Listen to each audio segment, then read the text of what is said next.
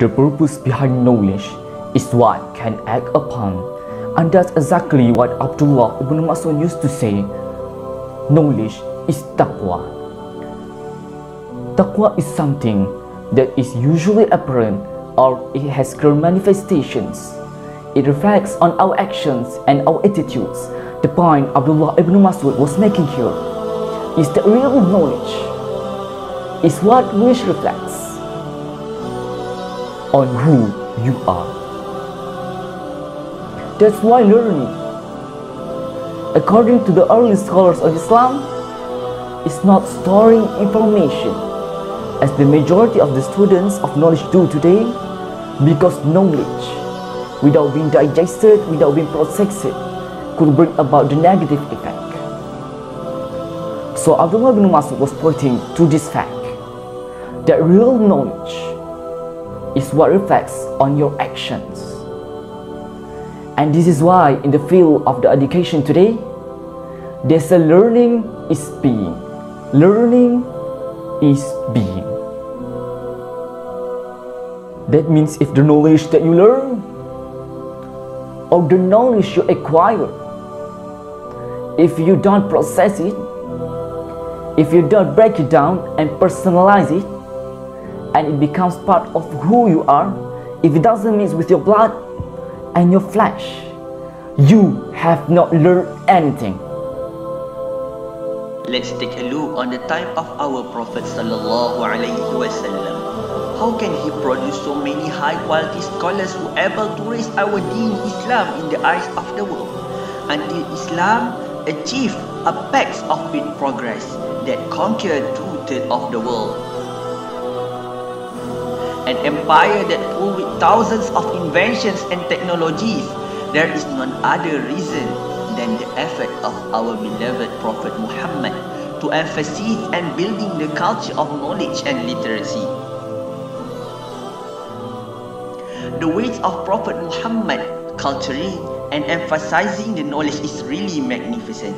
It is not an exaggeration to say that it is the best guide and inspiration for you to learn. Our Prophet first convey and teach the Quranic revelation. Quran encourage people to think and respect knowledge. Quran also broaden their viewpoint toward learning and seeking knowledge. Since the first ayah of Quran started with the words, Read in the name of God who created you. The second is the encouragement from the Prophet's tradition, which is Al-Hadith. There are abundant of hadith that state the advantages of seeking knowledge, such as one that narrated by Abu Hurairah, that the Messenger of Allah said, Whoever takes a path upon which to obtain knowledge, Allah makes the path to paradise easy for him. The last one is the Prophet Muhammad, peace be upon him, becoming the icon and role model in both knowledge and morality. Allah said in the Quran, Surah Al-Ahzab, which means, There has certainty been for you in the messenger of Allah an excellent pattern.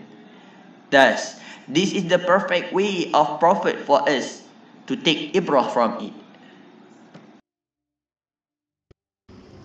Once upon a time, Islam has been conquered two three of the world it because we are leading in everything, including the education.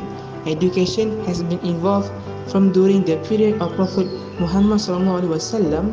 Then the capability of people for gaining knowledge has been increased from time to time. It was started from small house, which is the Arqam at Safa hill, by secret education develop us to be a knowledgeable person until it's spreading into Medina. It continued at the mosque and Darussufa because it played a role as central development of Islam. During that period, Muslim people has been involved in a lot of subjects like science, math, and sociology. It shows us that Islam stressed out the importance of education. A new era everyone must get free education besides need to attend a class or lectures because gaining knowledge can get from any platform of social media such as YouTube and Facebook. It is can allow us to access any education for free without having any fee or problem. In hadith, Man kharaja fi talab ilmi fahuwa fi sabilillah hatta yarji'a means whoever goes out to seek knowledge, then he in the way of Allah until he returns.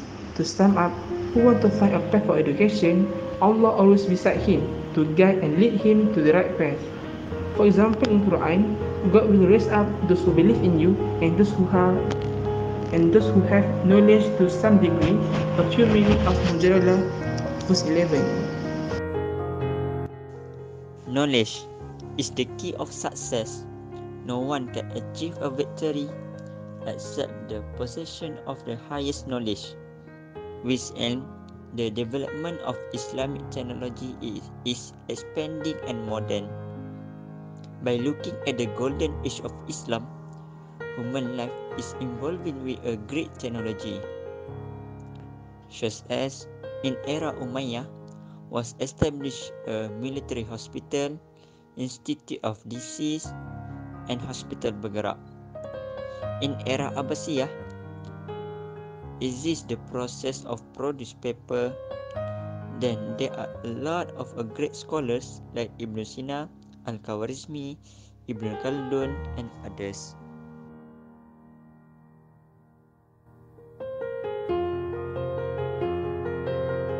As you can see, the current issues that occur today, all of these,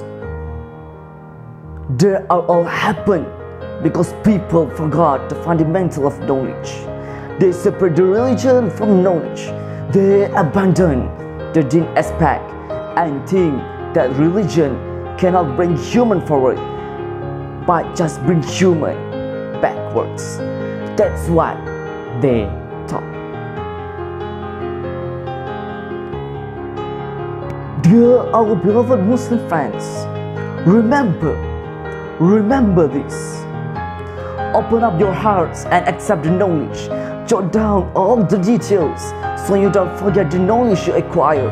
Use all the modern technologies today to seek the knowledge and do not ever, ever, ever abandon the ultimate source of knowledge, Al Quran Karim.